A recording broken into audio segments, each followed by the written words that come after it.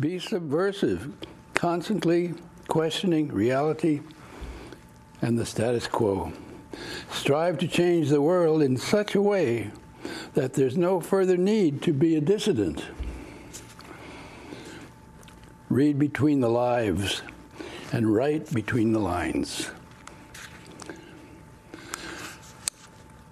Be committed to something outside yourself. Be passionate about it. But don't destroy the world unless you have something better to replace it.